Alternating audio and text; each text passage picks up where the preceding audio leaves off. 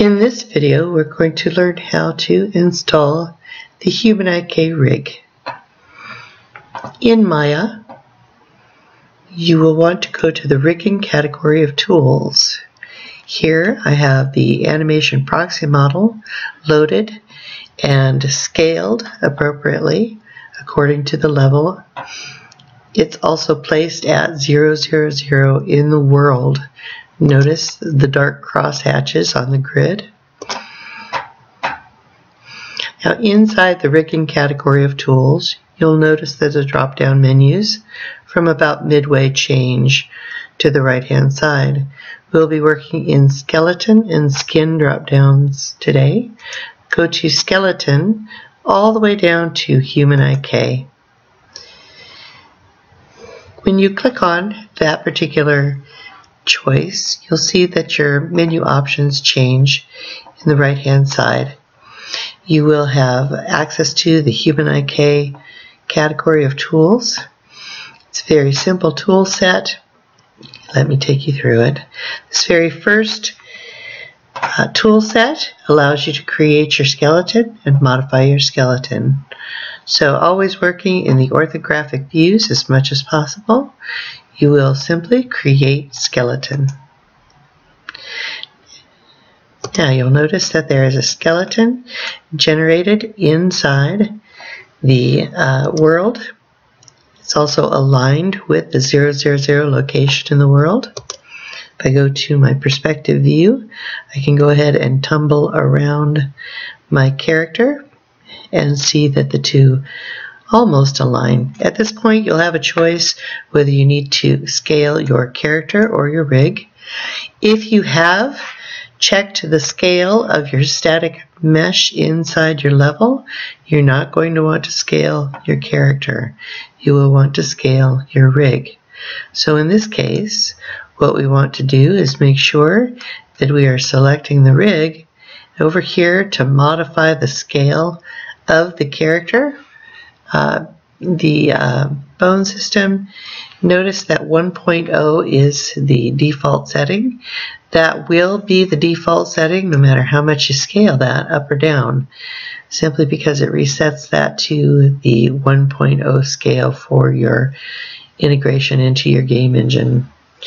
Now, we don't have a lot of scaling to do, but you simply can go ahead and modify this by entering a new value, whether you need to scale that up or down, or you can make the decision to move these bones around uh, to match the scale of your of your skeleton, or excuse me, your animation proxy model.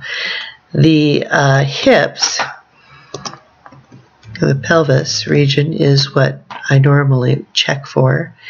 If the length of my legs, my pelvis is in the correct place, which is center of mass on my character, the fold points are matching that particular first joint in the leg hierarchy. And switching to my side view, I can see that my um, my joints for my ankle and the ball of my foot are in the appropriate place. My character is on the ground.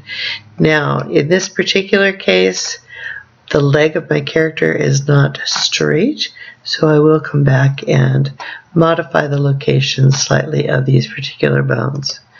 I do want to start from the core and work out. So in this case, I can go ahead and check my spine location first. Again, pelvis first. That is the, uh, the first joint in your hierarchy. So we want to check and make sure that that is center of mass for your model. I'm going to check that both side and front view. Remember you're working in 3D. So checking those various views is very important. I'm going to go ahead and also check the location of my uh, joints for my clavicle.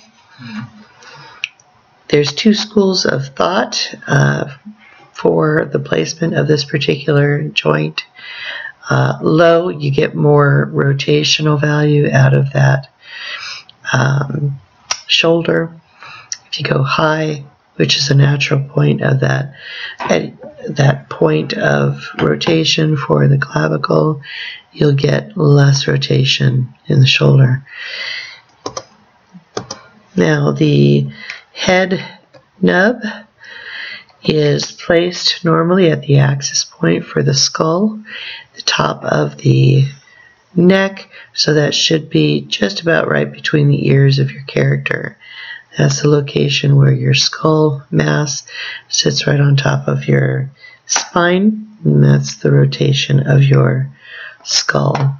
So all of these vertices on your mesh will be 100%. Uh, they're very close, weighted to this particular joint. When we get there, we'll go through the weighting of the skin mass. All right, now let's take a look at the arms. I'm only going to be working on one side because you have a mirroring tool. So I'm going to be working on the right hand side.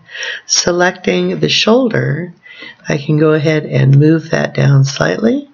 I'm going to uh, make sure that this particular limb string is as straight as possible. On this particular rig, it seems to work best, seems to be um, better if you just make sure that that bone string remains nice and straight.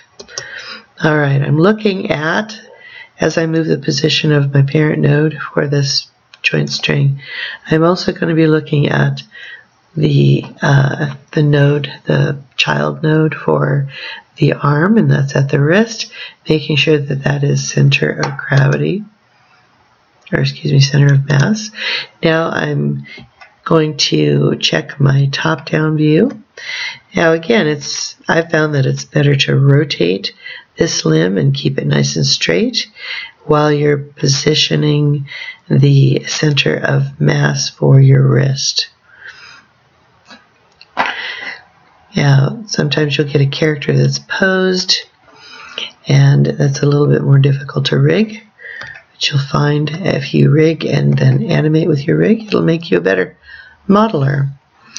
Now, once I have a center of mass on my wrist, I'm going to go ahead and continue down the string to make sure that my finger joints are in the proper place. Now if you find you're selecting your mesh, you can simply lock that down. Select it, come to the channel box, layer editor. You see my wiggly cursor on the screen. On the right hand side, go ahead and click on that. Down below here, you uh, are able to create a excuse me a layer for your character and place that on there so that you can uh, continue to work without selecting that mesh.